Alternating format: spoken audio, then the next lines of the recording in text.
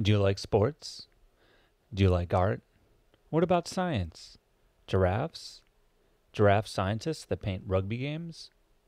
It's all available on Audible, the biggest audiobook site with the largest selection of audiobooks this side of the inner solar system. No need to use your boring old eyes anymore. The ears are the future, my friend. Why, you're using them right now. So check out Audible and get your listen on. Go to www.readlearnlivepodcast.com slash audible to start your 30-day free trial today. There's a lot of hope in, in the fact that things are changing all the time. And uh, I feel like you can't go on a, a trip like Mel and I did without without feeling weirdly hopeful about the future of life on the planet. I mean, you encounter so many people that are that are decent and they just want, you know, love and the basics for their family and mean no ill will to anyone else. And I do think those kinds of people are far more common than the tyrants and the the you know massive CEOs, heads of corporations that are inflicting harm left and right. Um, it's just a matter of how can we how can we summon that more positive energy and, and put it to work.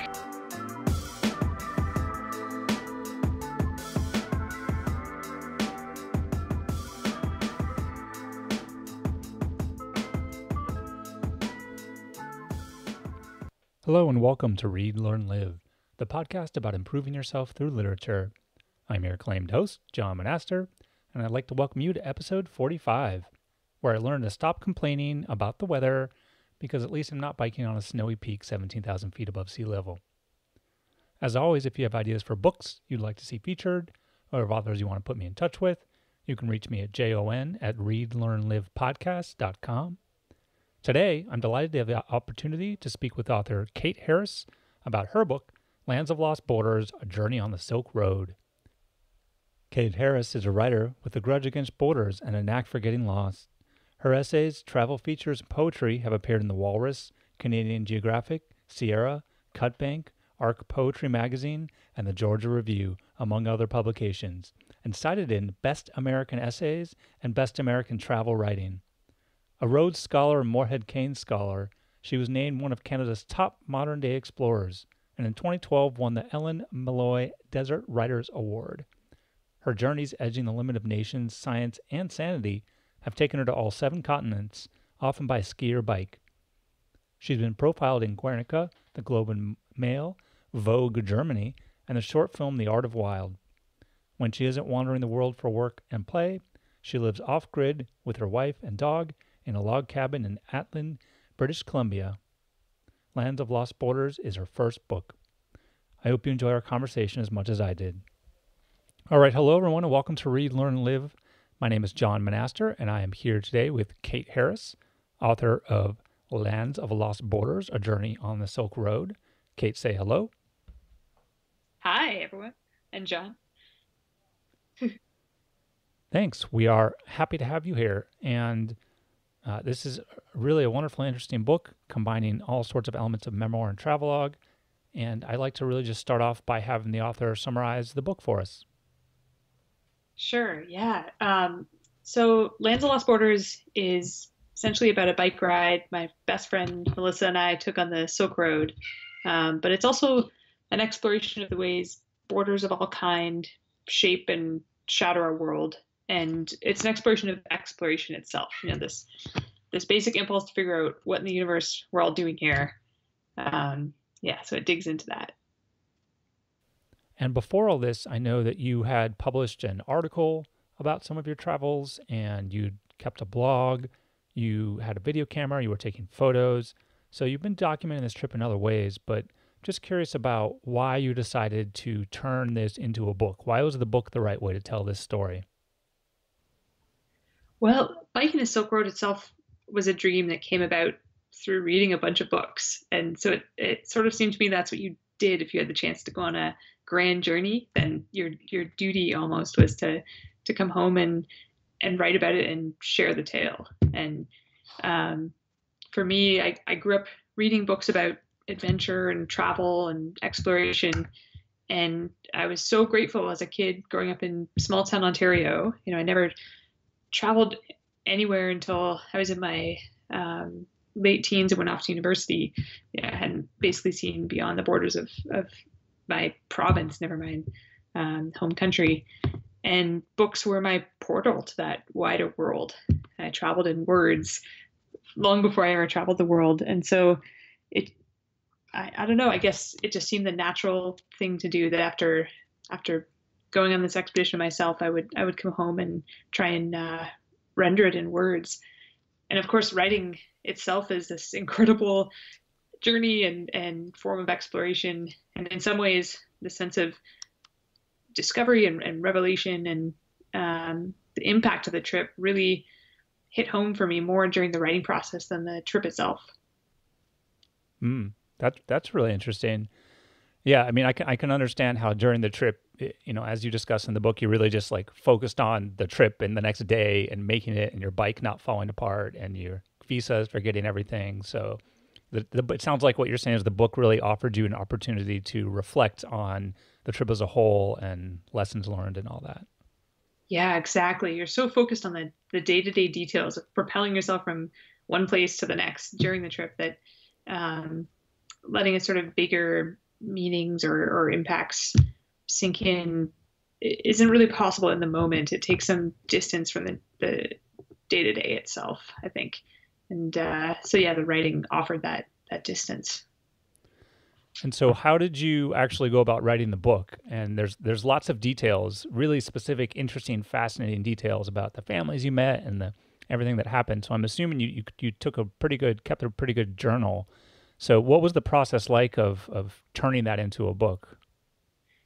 Well, on the trip itself, I, I tried to think of writing, or more accurately, documentation as like my only job. You know, other than just living the adventure, my duty on the Silk Road was to to get it down. Um, and this was in part because I wanted to write a book after, um, and also because becoming a writer was really my only possible future. I don't know. I'd burned I burned bridges to what I was doing before the Silk Road trip in terms of being a scientist, and um, so I was kind of staking everything on on being a writer. And I, have always found language electrifying and um, a really intense kind of exploration. Just just reading a book, um, and so I wanted to try and put some of that energy back into the world on the page myself. Um, so yeah, I kept journals during the trip. I uh, Mel and I filmed a bunch of it because we were hoping to make a documentary as well, which never really transpired. Um, but it proved so helpful for writing the book because days I was too exhausted to actually get down much detail of, say, you know, the, the color of a carpet in a family's home. We'd be taking photos and we'd be shooting video as well. And so I could kind of summon those details from these other media. Ah, uh, yeah, that's helpful. Um, and so, doing all that, was there anything that was particularly difficult when you were putting the book together that you found challenging in an unexpected way? Oh, all of it. all of it, the whole thing. Process. Uh, it was so incredibly. It was the hardest thing I've I've ever done. Was was trying harder to... than biking the Silk Road. Oh, was writing by far, by okay. far. I mean, biking, you just put one pedal stroke after the next. Like it's it's pretty linear, you know, and there's sort of a clear destination. Um, you know, you might get off track on the way, hit detours and digressions, but um, you generally know where where you're aiming. And in the writing of the book, I didn't want it to be just a book about the day to day on the Silk Road. I didn't want it to be, you know, we woke up, we ate this, we went here, we slept, and then repeat ad nauseum. I really wanted it to be this this deeper sort of synthesis and exploration of ideas about exploration and borders and history of science and space, outer space. Um, and so weaving in all those threads of the story that, that best um, reflected the sort of emotional arc and experience of the trip to me in a, a cohesive narrative like it was hair tearing it took me five five years of sort of working odd jobs, but mostly writing to to write the book and to piece it together. And um, by far, it's it, I turned myself inside out to do it, and yeah, it was intense. yeah, it sounds like it. Uh, well, well, you're done with that. So the yeah. book is the book is there. So you know, catch my breath. yeah, catch your breath, and then you know, phase two, which we're in yeah. right now. Uh, okay, well, yeah, let's let's talk about the book itself. Let's let's get into it. So you know, you, you start off with sort of the beginning, uh, the true beginning of the story, which was uh, which was you and your life and your growing up. Uh, so what was what was it like for you growing up? What was your early life like? Um, well, I should start off by saying I was born into incredibly loving and lucky circumstances. You know, with parents that that encouraged me to do crazy things like dream of going to space and you know made sure I always had books to read from the library. We weren't a well-off family by any means, but um, rich in all the ways that matter, like love, and I never worried for food on the table, and um, yeah. So I feel like I was I was from the from the get-go incredibly lucky in that respect, and um, yeah, I grew up in small town Ontario with my two younger brothers and parents and a menagerie, rotating menagerie of animals. Um, I was really into horses and books and outer space. I, I wanted to be an astronaut as a kid, and um, so studied hard at school for that reason. Oh, yeah, I remember. I, I also wanted to be an astronaut. I think it's interesting because oh yeah, I think I think I remember reading something about some personality test or assessment or something where it was like essentially it was putting people in two categories: astronomers or astronauts. Oh, and thinking about thinking about people that either wanted to kind of from home look at everything or people that wanted to actually go to the places and report back. Oh, wow. That's such an interesting like binary to think about. Right. Yeah. I mean, of course, yeah, there's of course it's not necessarily just so black and white always, but yeah, I thought that was an interesting way yeah. of of framing the difference between the types of people and what you might want to do going forward. Yeah. So it makes oh, sense to me that you were the explorer astronaut version. Astronaut type. Yeah. Yeah. Although the irony is that to be an astronaut, I mean, you have to spend a lot of time as an astronomer for sure. Yeah. Well, just as a, I mean, and a scientist in, in so many ways, you know, before you can even think about actually going anywhere, you have to sort of prove yeah. yourself, it seems. Yeah. As a scientist. So some fusion. So, you know, one of the things you talked about is this outward bound experience. And it seems like that was somewhat of a turning point in your dream to become an explorer. So what was that all about and and how did that affect you and and what it meant for becoming an explorer for you? Yeah, the Outward Bound course I I got to go on was a revelation in so many respects, but um, you know, I read all these books about people going on adventures and climbing the tallest mountains and traversing deserts, but I, I had no idea. Like I, I'd gone car camping as a kid with my family, but um, they weren't into like wilderness expeditions, and you have to go pretty far from where I grew up to find wilderness in in Ontario, quite far north, and so it so I had these wild notions of what I wanted to do, you know, go to the far flung corners of the world, the fringes, and and trek across them, and um, no real idea of how you actually go about doing that. So like, how do how do you pack a backpack carrying, you know, just the basics what you need to keep life going in a far flung place? And Outward Bound taught me all of that. And um, basically, I did a course in the canyonlands of Utah, and so we spent time in both mountains and the canyons. And uh, I just loved every second of having to slog around under a 55 pound backpack and navigate with a map. Um, it was just exhausting and exhilarating in, in every moment. And I finished that course really feeling equipped, like, okay, I can, I know how to do this in a Utah desert. Now I can take that to, you know, the Gobi Desert of Mongolia. Um, so it really felt like it, it was just the sort of rocket booster in terms of launching me into other contexts with the, the skills and knowledge and, and mostly just the confidence to set off into wild places. Mm.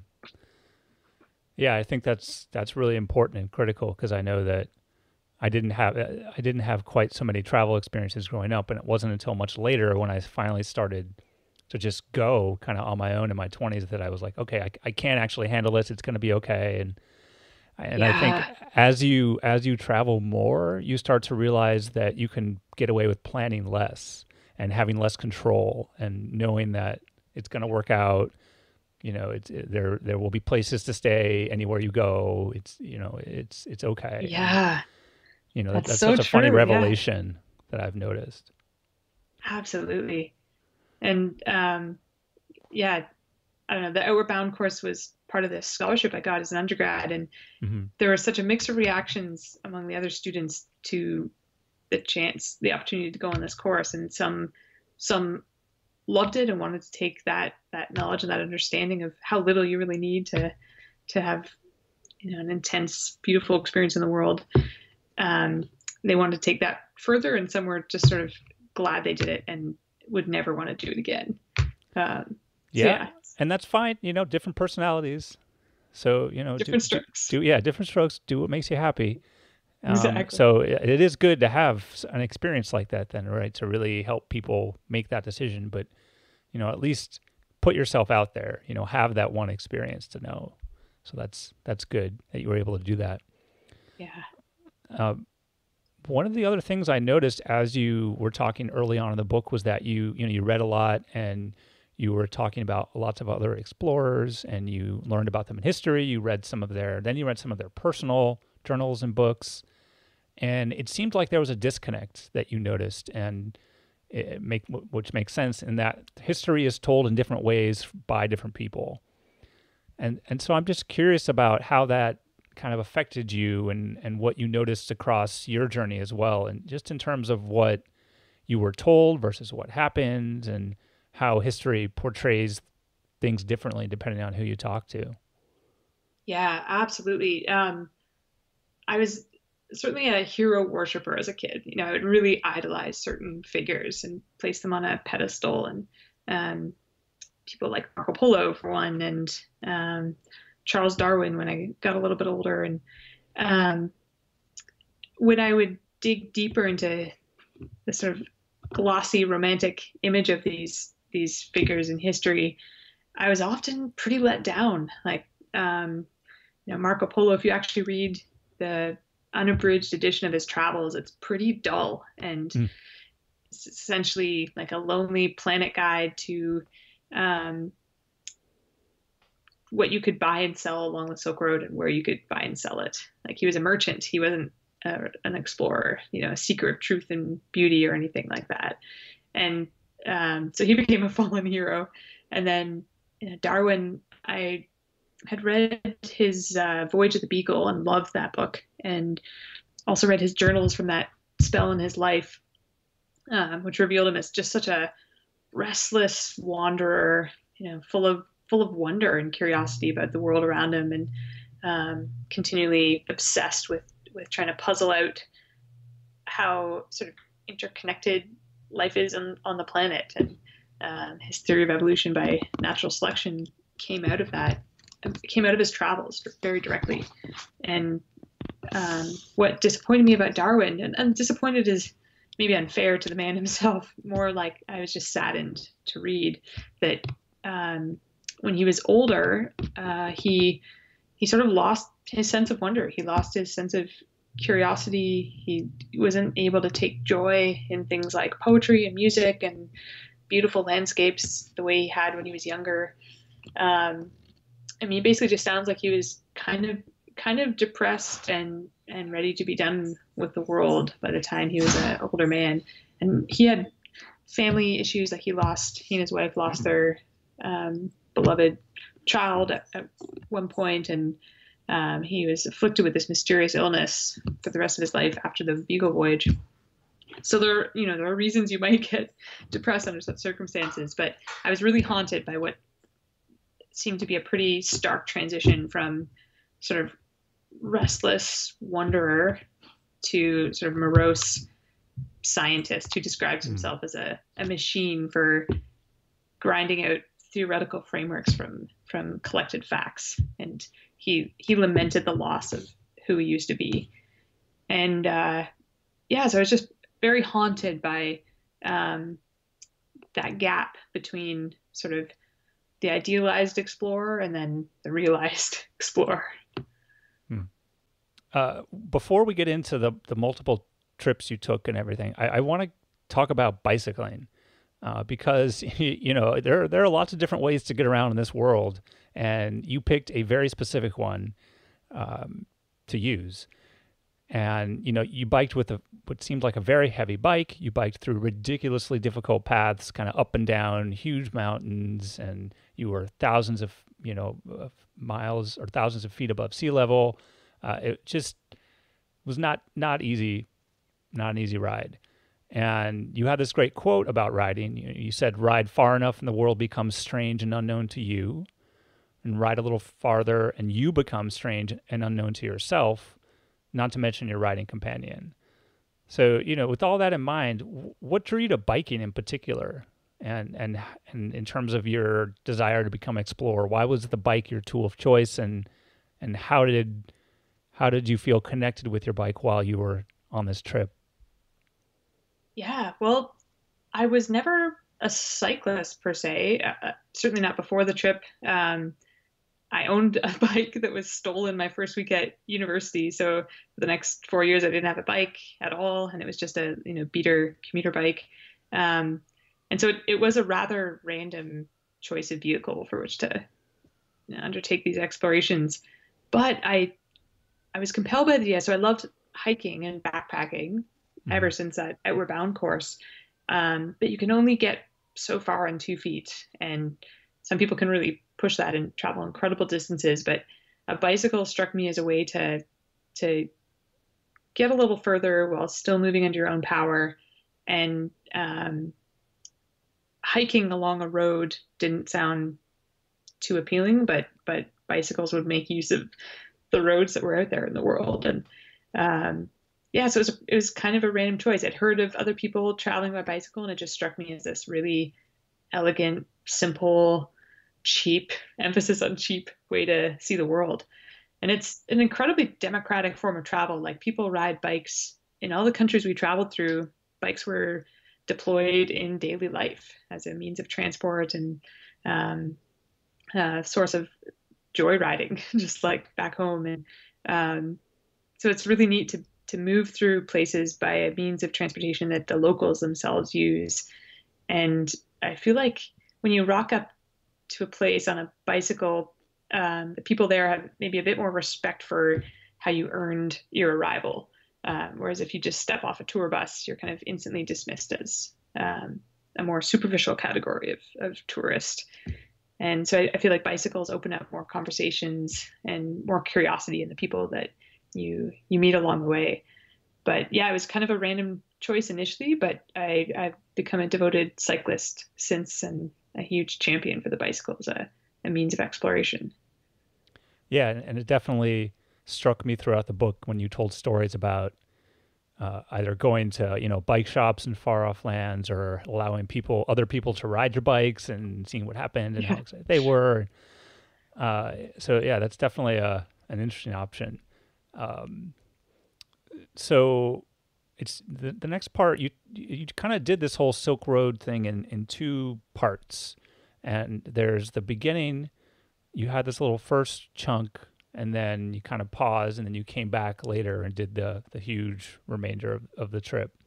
So where did you get that first idea to bike that first part of the silk road that really kicked off this whole multi-year journey? Yeah i i was in my this was my fourth year of my undergraduate degree, and um, I completely won the lottery in terms of school in that I got a full ride scholarship to the University of North Carolina at Chapel Hill, and this scholarship I accepted it. You know, I was I was from Canada. I'd never even been to the American South when I I applied to and then was offered this scholarship, which is called the Morehead Cain. Um, I accepted it without hesitation as soon as they offered it to me over the phone because it came with uh, summer travel grants. And so every mm-hmm. summer you could basically like pitch an idea, a place you wanted to go, and something productive you wanted to do there, and they would they would fund it, like buy you a plane ticket and send you off. So it was as a, someone who'd never even you know seen a mountain or a desert or an ocean before I went off to school. It was it was mind blowing. Um, and as part of this summer travel grant program they have, one of the summers is very open ended, and you you essentially choose whatever you want to do wherever you want to do it, and it has to have some study dimension, but um, that can be pretty loosely interpreted. And so I I pitched the idea of retracing Marco Polo's travels in in China on the Chinese stretch stretch of the Silk Road and sort of looking at the differences that had evolved in the, the centuries spanning our journey. So it was a pretty, you know, non um, non rigid pitch for a, a, trip. Like I'm kind of surprised in retrospect that they they funded it, but yeah, they set me loose and I proposed to do it by bicycle, and um, I wanted to hit up that part of the world with that um, Marco Polo focus in part because he had become this fallen hero to me. You know, I had this romantic vision of him as a kid, and then when I was at university, I read the the full edition of his travels, and realized he was he was a merchant, not an explorer, and I really wanted to celebrate those stretches of the Silk Road that he really didn't didn't think much of. He dismissed mountains and deserts as obstacles, um, as things that stood in the way of, of progress and profit. And so I wanted to instead travel the wild Silk Road and uh, celebrate its wildness as opposed to its civilized aspects. Mm. It's an interesting way to think about it, right? I mean, it's almost like you you decided to try and be the counterpart of Marco Polo. You know, you were you were filling in the gaps that he he left. Yeah, that was the vision. Was certainly the vision. And and so I remember you wrote in the book, and it's it clear from from reading the book, you're sort of very good at school in the sense that you know you were you were there, you got then you got into Oxford, then you got into MIT, so you know you're kind of going to some very prestigious uh, uh, institutions, and you went to Oxford later after coming back from the trip and and all that to study science, and you switched to the history of science, and you, and you talked about that for a bit. So, why did you decide to switch to the history of science, and, and what did you really take away from your time at, at Oxford? Part of why I poured myself into my studies, you know, my whole life from elementary school and, and onward, um, was that I, I wanted to be an astronaut, and I knew I needed to become a scientist to get there, and I knew I needed to excel at being a, a scientist to get there, and so I really aimed for aim for that and um, worked incredibly hard first in you know public high schools. And then that opened up doors to these scholarships later. Um, and it was because I was I was aiming for Mars. Um, and you know there's that saying it's almost a cliche now but like you aim for what is it you aim for the moon and you land among the stars or something like that mm. and I, I sort of feel that way about Mars like I I was studying with it in mind and instead got detoured into all these other fantastical, quite otherworldly adventures and um, places. And uh, when I went to Oxford, so I studied science as an undergrad and then won this incredible scholarship, full ride to Oxford. Um, and I could choose to study whatever I wanted there. I wasn't limited to doing what I'd already done, which was sort of this this exhilarating option. Like suddenly I could do something totally different, and um, it wouldn't matter for the person I was trying to become because I was going to go on to grad school in science afterwards. And so what what was I going to do for two years when I had that sort of blank slate presented to me? Um, and I pretty quickly settled on studying the history of science, which is essentially the history of exploration. Um, and that gave me the excuse to read like exploration narratives and expedition diaries for homework instead of in my spare time. Hmm. And then you sort of went to MIT and started a doctorate, and then kind of it didn't. That's that's kind of where your formal schooling stopped, right? And that that's kind yeah. of where it became like that's. Did you kind of make a decision there that like student of the world was more your style, or you know, what what happened there that then led to the next big portion of the trip? Well, it turned out as much as I loved thinking about science and and writing about science, I was really terrible at doing it. Like I was I was a bad research student. I was restless. Um, I'd get distracted by literally things happening out, out the window and mess up experiments. And I just, I was not finding joy or fulfillment or any sense of um, being good at at stuff in doing science. And it was there I really realized. I mean, Oxford was sort of this two-year blip of doing something different, writing about science instead of doing it, and I loved it. It, it felt like a kind of challenging play as opposed to work. And then I, I went to MIT after because I was still sort of convinced that that's what I had to do. You know, I was on this path to Mars, and that's where you go if you want to get there. And showed up and very earnestly tried to to um, follow that path, and just found myself unhappy and unfulfilled and just really bad at it. so it became pretty clear to me after a while that um, I I was best as an explorer on the page and not in the laboratory dealing with petri dishes. I was studying uh, geomicrobiology, which is a very, it can be a um, field focused course of study, but the way it, it plays out at MIT in the particular lab I ended up in, it's very laboratory experimental um, oriented. And yeah, so I, I ultimately just couldn't take it anymore and quit grad school and decided I'd return to the Silk Road where, you know, I wasn't the first person to bike the Silk Road and, um, know, it wasn't a, it was, wasn't genuine exploration at all. And yet it felt like everything I'd been after uh, that, that, that sort of spirit of exploring that I thought you could only find on Mars. I had felt on the Silk Road that first time and I felt when I wrote about my travels. And so I decided to to aim for that as opposed to another planet. Hmm. Well, I mean, it, it's interesting because you kind of reference the experiences you had. I think you were, and I don't want to call this wrong because you got annoyed with people in the book who called it wrong, but you underwent some sort of uh, astronaut-like experience in the desert somewhere. space camp is what you're space, trying not to say. I didn't. I mean, I don't want to call it space camp. I know that you were annoyed by that. So there's some sort of space exploration occurring on this yeah. planet.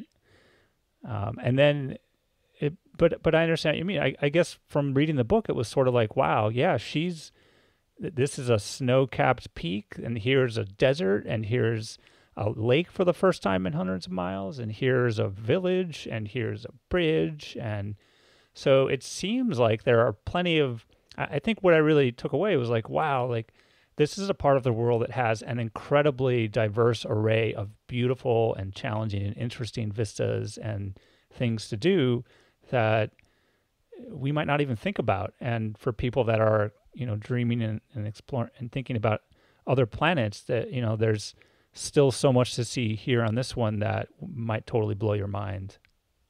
Absolutely. Absolutely. Yeah. I, uh, the space experience you're, um, very gently referencing was uh, a two week Mars simulation run by the Mars Society in the Utah desert. And you basically go through all the motions of being on another world. Um, where you wear a fake spacesuit, you go through a fake airlock and have to wait till your de- the air around you is depressurized to the point that you can exit. Um, and it, it, it just, the whole experience, it was fun. Like you're sort of play acting that you're on Mars, but it was also so weird and so removed from the world around me that it felt almost like a video game or a simulacrum like i wasn't really really there and um, for me that especially having done the outward bound course in utah and loved it so much and then returning in a, a spacesuit and space helmet and just feeling like i wasn't even in utah i was in a projection of utah on the the plastic visor of my space helmet it felt like virtual reality and I wanted real reality. Mm-hmm. Um, and certainly, you know, as a kid, I'd, I'd sort of written off this planet as a as a world of diminished possibilities. Um, you know, the age of exploration, the golden age, anyway, as being long over. Um, and I think now, having seen more of the world and and traveled it in some pretty intense ways, I can testify that is so far from the truth. You know, this planet is so it's weirder and wilder and more heartbreaking and more hopeful than I ever would have dreamed as a kid in reading about it in books uh, in small town Ontario. And like Mars doesn't hold a, a, candle to what we have here. Like, and it's not that we shouldn't explore Mars. I'm still fascinated by the idea of there being uh, life there, past or present, and you know, it's a it's a beautiful thing to explore another world. Um, but there are worlds within this world worth exploring right out the back door. You don't even have to go as far as the Silk Road to find a word a road worthy of of traveling. Hmm. And so, with all those travels, though, come come some challenges, and and I think you documented them pretty pretty well in the book. I mean, you've got drenching rain in the Black Sea. You had snow covered road that you could barely see. Um, you had various bike issues happen. You had mechanical um, issues. You had these like visa problems. Um, so you know there was a lot to deal with. Yeah. And it really seems like you just had such a tenacity. I mean, you, you definitely wrote about the times when you just were sick or felt like not getting out of bed or whatever, but you still sort of persevered and you still made this happen when I think a lot of people might have given up or stopped and, and, and not continued. And Uh, you even wrote this, this quote, the colder and harsher the terrain, the more I seem to come alive in it. So so how do you sort of explain that? How do you how did you stay motivated? How did you push yourself to keep going forward and overcoming all these obstacles during the trip? Oh, that's a it's a great question. I still kind of wonder at it. I mean, I when I'm giving readings of the book and I'm reading passages that about times that were really really challenging and tough, I'm just like, well, how did I keep going? Yeah. And part of the answer is Mel. I, you know, I was traveling with this incredible um, other human being, my, my buddy Mel. We've been friends since we were 10 years old. And it helped that the stretches I found hardest, she didn't find that difficult. And those aspects of the trip I found like exhilarating and, and amazing. She sometimes found more difficult. And so we can we could sort of carry each other through um, what was personally hard. And you know, she somehow was unfazed by traffic and freezing rain. And I, I really did feel like I was happiest in the, the colder, wilder train of the trip. And that was train that Mel was less comfortable in. And so there was always someone having something of a good time. And I think that helped for sure. And also I love the kind of travel. I mean, I, I, guess they call it type two fun. Like you're you're glad you you lived through it later. Um, and so much of what I had read in in books about expeditions and explorers of the past, like I was drawn to that kind of glorious suffering um, in literature, and so to to do it out in the world felt kind of right. Like, well, this is what this is what I wanted was to to suffer for the sublime. Uh, yeah, I love that phrase, glorious suffering. And a lot of what you were writing about actually, uh, I don't know if you ever used to read Calvin and Hobbes that as a kid, but there's a particular strip that reminded me of, and his dad was always getting them to do crazy things, and they were actually bicycling in the rain, and Calvin was complaining, and his dad was like, "No, no, this builds character. Like you're you're building yes. character. You can just keep going. Like and that was his thing. He would always be biking. He'd always be out in the rain. He didn't care, and yeah. it struck me as very, very much the same idea. Oh, I should put that that strip up on my wall. That's awesome. Yeah. yeah. um, so yeah, you mentioned Mel, and you guys have been friends since you were ten. I mean, this is obviously an incredibly deep friendship, and now you're spending day in day out with this person for months on end in these challenging conditions so, how did your friendship with Mel evolve over the course of the journey? Oh, yeah, it was, you know, there were few people on earth that I could be cooped up with in a tent or, you know, stuck on a busy road with or dealing with bureaucratic challenges with. And Mel is Mel is one of them. Like she's we certainly bickered at different points. We're almost like sisters by now. Like we've just lived through so many epic phases of life together and had such wacky adventures both abroad and at home that um, yeah, we can sort of we can fight and forgive each other in the matter of like minutes. Um, she's we're super different. Like Mel, Mel's incredibly like she's quite outgoing and extremely funny, and she would always manage to find some like quirky, absurd take on a situation that I was just frustrated by, um, and therefore make it less frustrating. I feel like that's like this real gift she has.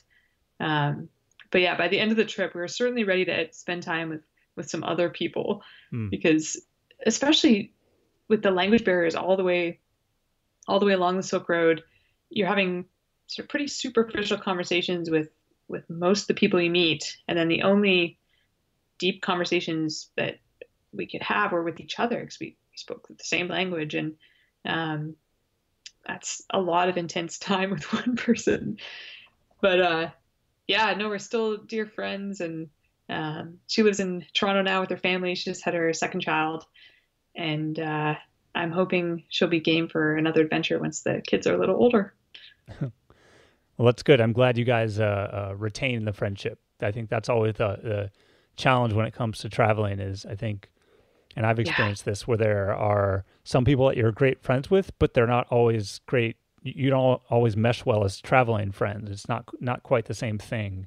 Yeah. So, well, I think really... Mel, both Mel and I like she has an outgoing side, but she also has this really solitary side, as do I. And the two of us can happily just like lie in a tent reading for hours and not you know not feel the need to make conversation, not not feel confined by that. Um, and I I, read this in the book, but it, yes, it was our ability to be alone together that I think let us survive the trip. Mm. Yeah, wise words.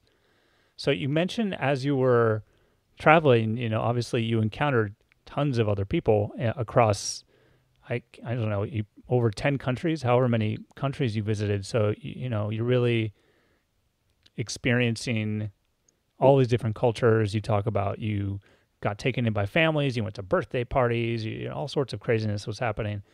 So, you know, do you have any favorite stories to share, or you know, what did you really learn? Did you learn anything global about what people were like as you were meeting these different people from different countries?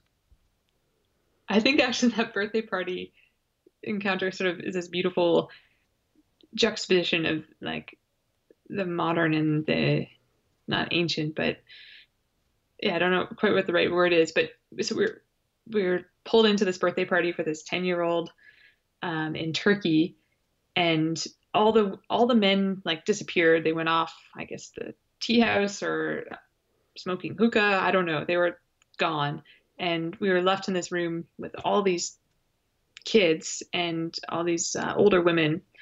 And then one of them like dials up Skype and calls in I don't I don't even know who it was, but some friend of theirs, and then has the friend talk to us. So we're like, yeah, having you know a Skype conversation with a total stranger in this stranger's house in this chaotic birthday party with music thumping in the background and balloons flying everywhere, and uh, it was just such a neat.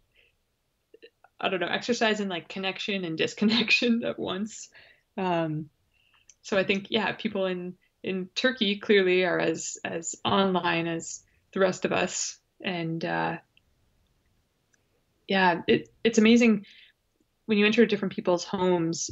Um, there are like a few factors that make a home a home, it seems, and you know whether it's family photos on the wall or um, like a, a, gathering place where like food is served.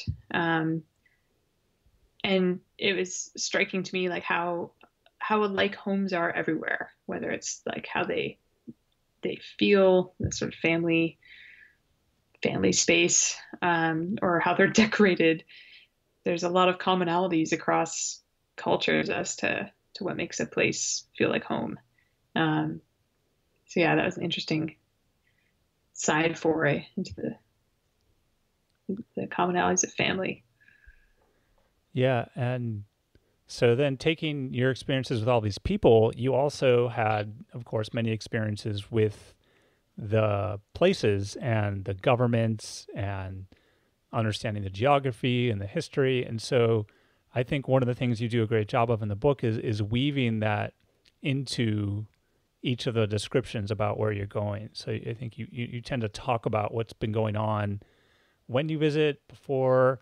how things are intertwined. So you definitely did a lot of research. And so I'm just curious to know about, you know, why you thought that was important or helpful and and uh, and I guess how much time you spent really trying to understand the past for all the different places before you got going. Yeah, the research happened both before, pretty much before or after the trip. There's not much that happened during it because we are just yeah. busy on the road. But um, it felt really important in the book to weave in the the larger dimensions of a given family's story. You know, where what country they're in, in the in the often like very tangled and difficult history of that country. Um, yeah, where where sort of national and historical factors meet individual people. Um, it felt important to sort of weave those together because they are deeply woven. Um, and I hope what comes across too is, is sort of my continuous bewilderment. I, I, mean, I just feel like even though we traveled slowly and even though we lingered in places and with, with different people along the way, um, I still feel like my my understanding, whatever that is, you know, whether academic understanding or emotional understanding, my understanding of the the Silk Road and its history and its present is still still feels very superficial. Like um, there's only so much you can you can learn as a foreigner, kind of skipping through a place on a bicycle, and so digging deeper into a, a country's history was a way of, of trying to make that less superficial, I guess, my my understanding. Yeah. And I think and you make sort of an interesting distinction sometimes when you're talking about tourists and and you mentioned people just getting off a bus versus you guys showing up on a bike and you know connecting with families and, and that sort of thing. Do you, do you have a sense of where you were seeing the most tourists versus the places that seemingly it was just you and Mel and the bikes and and why was that? Why is it that people are drawn to certain places, not others? Well, I do definitely consider us tourists. I should say that straight off the bat. Like we were just, you know, a certain, a different kind of tourist that just happened to travel by bike.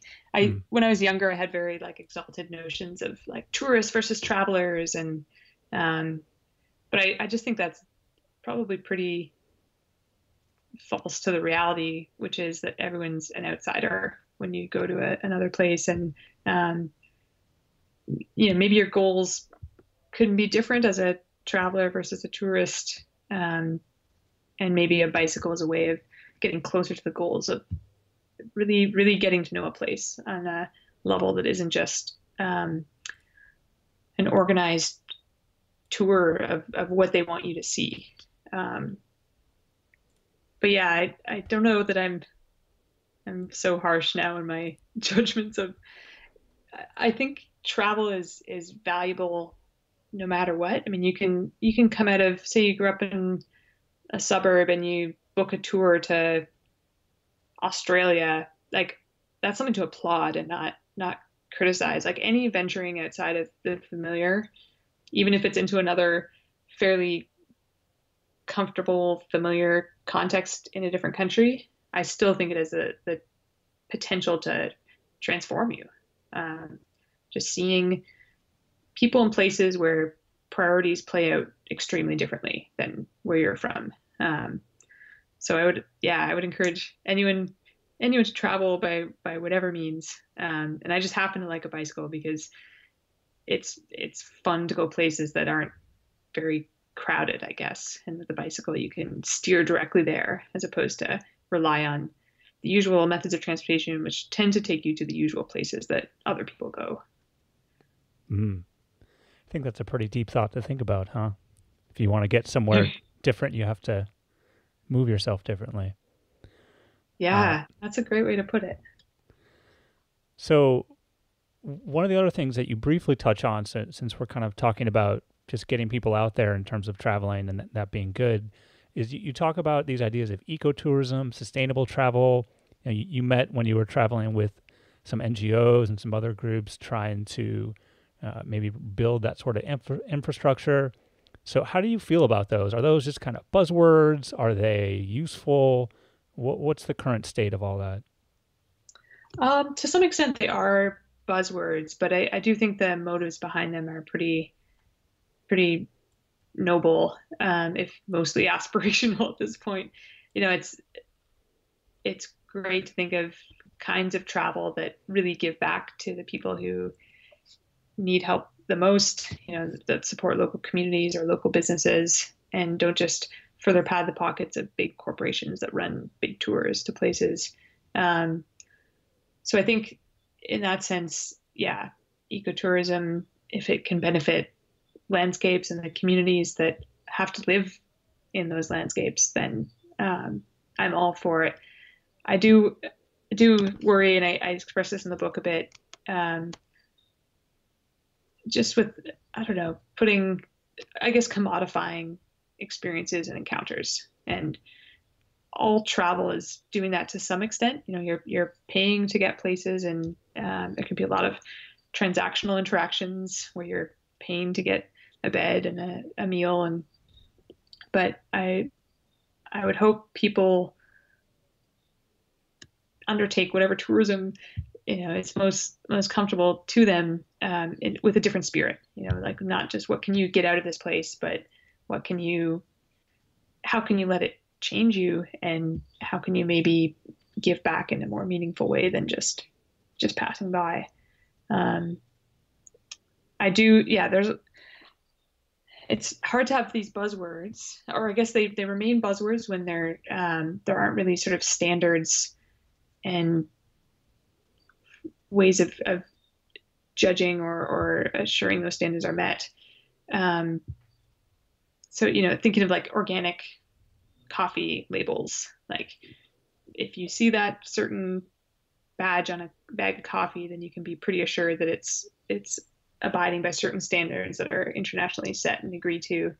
Um, and you can feel justifiably good about supporting that. But I think ecotourism can just be slapped on any enterprise in any country, and there's not much um, accountability, I guess. And so I think it's worth really questioning, like how is how is my experience in this place going to impact the place, and ideally neutrally, maybe even more ideally positively, but at the very least neutrally. Hmm. And yeah, so so kind of continuing down this rabbit hole for for those of you playing the the drinking game at home, we've mentioned I think the phrase Silk Road about twenty times, so you, you should, right. should should be drunk by now. Uh, but you you really talk about this in the book that essentially the Silk Road is a marketing ploy, and that's not how it was referred to by people that live there or even Marco Polo, or you know, this was it's a very recent sort of invention. And you know, uh, your your book title also uses the Silk Road, right? I mean, successfully, yeah. I mean, it's it's it's it works, right? I mean, it's it's, it's exciting. It makes sense. Everyone knows it. So you, you know, what I, I guess I want to try and understand, like, is that is that okay? You know, if we take a place that where people are living and name it something else that's not their name for it, and then use that for our own purposes. Um, is that something that that you're or, or we should be comfortable with, and and how can we kind of strive to be authentic and and honest with ourselves and with the people that live there about about these places? Yeah, fabulous question. Um, I certainly think anytime we we anytime we name something, there's sort of like an attempt at possession in that naming. And that can be, um, you can mean that totally innocently, um, like with a, a, a book title, um, or it can be named in such a way that's very like cunning and self-serving.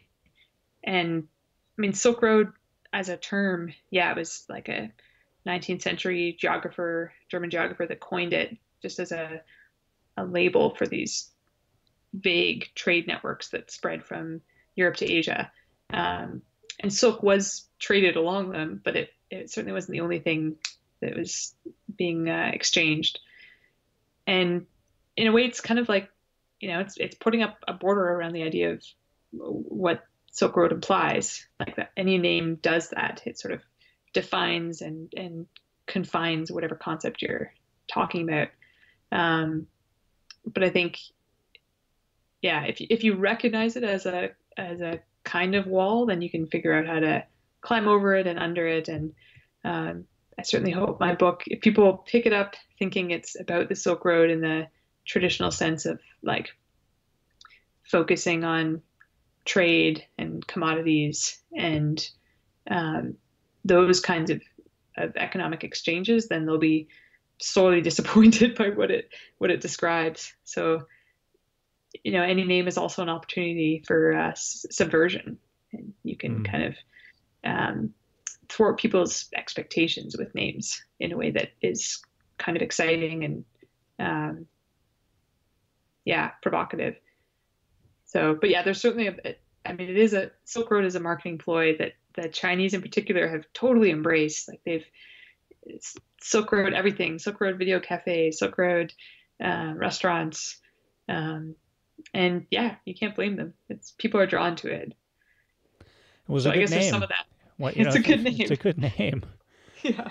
Um, so I kind of I, I want to end this this part, I guess, and and maybe even talk about a, a bigger, more metaphysical question. I mean, you kind of throughout the book, you, you wrote about kind of the back and forth about how you felt about the the problems we're dealing with here, and you know what drove you to want to go to Mars or to to leave, and you know you, you're kind of frustrated by that. And later in the book, you you sort of talk about that you maybe switch back or change your mind or otherwise at that point you were like you know we're i'm going to stick around. I'm going to stay here. This is you know humanity is here. We need to focus on that i, mean it's it, is really tough right to think about these these problems that we face as a species and let alone within our different countries and, and everything. And some people can become disillusioned and frustrated. And and I guess I'm just curious about kind of where, where you stand now and, and in terms of what you think we can do and, and, you know, how you feel that, you know, your travels have, have taught you either way about how humanity can still come together. Yeah. Well, maybe the big solace of the Silk Road is that it's proof that everything is constantly in flux. Um, when Marco Polo traveled it, he traveled a completely different landscape in every possible sense. The maps were different. You know, the nations we think are so solid and um, lasting along it, he didn't know by those names.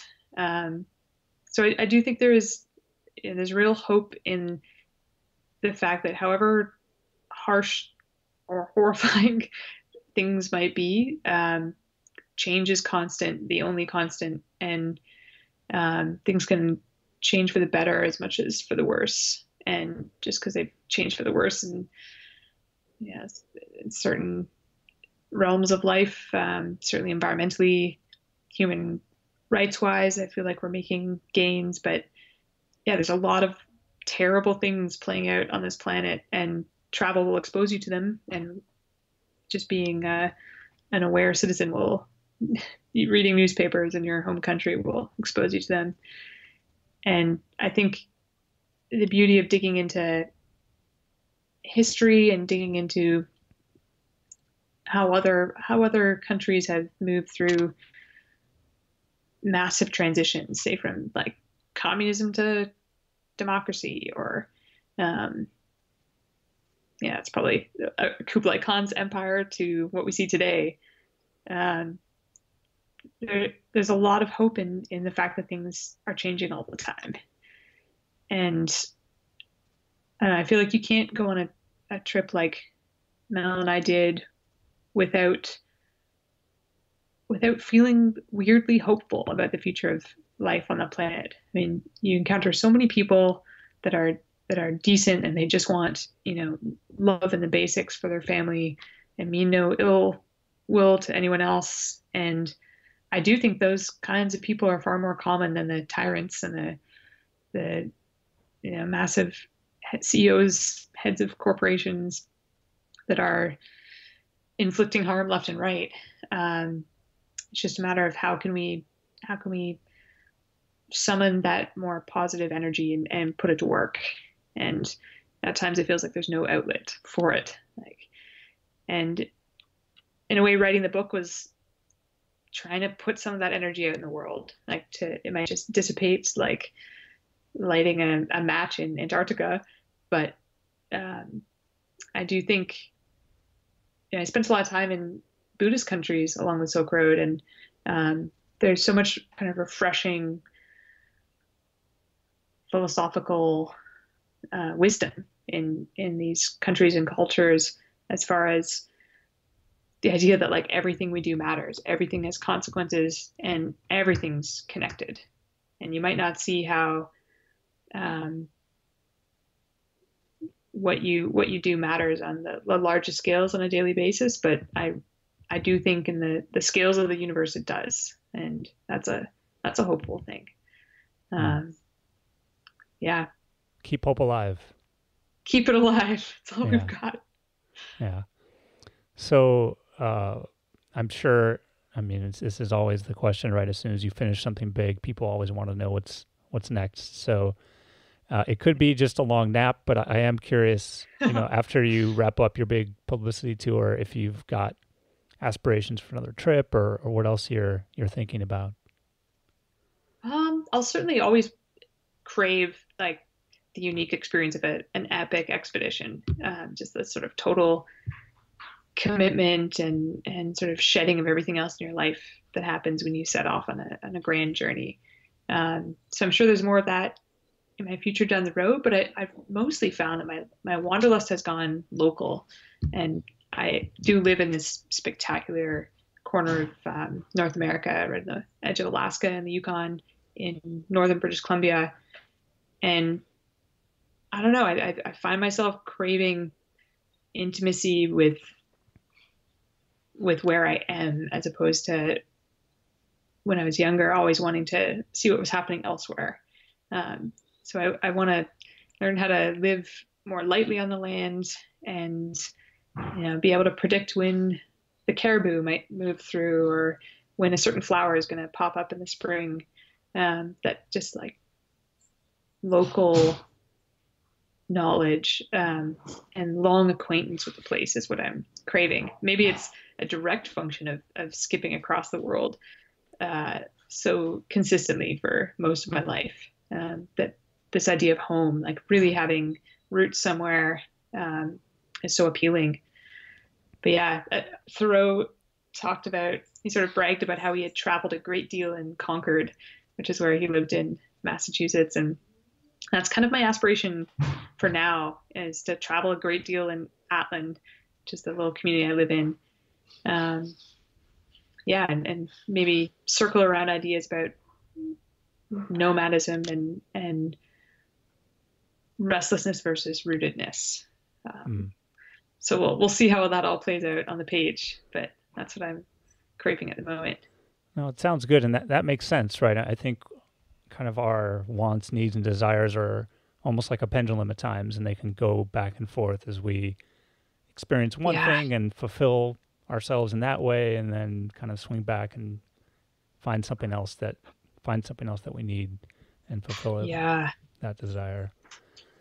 Yeah, Thoreau Thoreau is great. I love I love reading Thoreau. I mean, I, I, there was some I remember there was something I read where he like railed against dinner parties. Like he was like, I'm going to invite people over for dinner, but there's no reason that I should be paying for anything. like they can bring their own food or Such something. Such a miser. Like yeah, it was just like so Thoreau, and I was like, oh, okay, this guy's all good on you. yeah. Okay, well, um, that was it for my questions. So how about we just play a little thunder round? I'll ask you a couple quick getting to know you questions, and and we'll call it a day. Sound good? Okay. Hit me. Okay. Hit me what is your what is your favorite food and or drink? And you cannot answer instant coffee or instant noodles. Definitely not. And neither of those were answers I was going to give. Okay. I would say pesto for food, mm. homemade pesto, and drink. Um, anything fizzy, like fizzy water with berries in it. Ooh, that sounds Yeah. great. Done. So normally I ask people their favorite place they've ever been, but um, you just wrote a book about all your favorite places. I feel I kind of want to know where you would go if you could go anywhere, this planet or otherwise. I would love to go to the high Arctic, the high Canadian Arctic, like Axel Heiberg, Ellesmere Island, um, places that are in my own country and yet are so incredibly hard to reach, so expensive to get to, um, that they're they're effectively another planet. So if, yeah, I can't imagine ever being able to afford going there. So if I can finagle some kind of writing assignment there, I'd be thrilled. Yeah, get yourself a sponsor. Yeah. Okay. Ski well, trip. everyone, yeah, everyone out there listening, get Yeah. ready. She can wear your brand as she summons. Uh, okay, last question. If you could wave a magic wand and change any one thing, what would it be and why? Oh, is illuminate ego too big an answer? No, you can do whatever you want. Yeah, illuminate, illuminate ego. Um, Okay, two words. of oh, two words. No, no, no. I said that's that's it. Two words. Is Eliminate that ego. okay? I did it. Yeah, that's very. You did it. that yeah, fulfills the criteria. Okay. that sounds good. So this would eliminate ego for everyone. Yeah.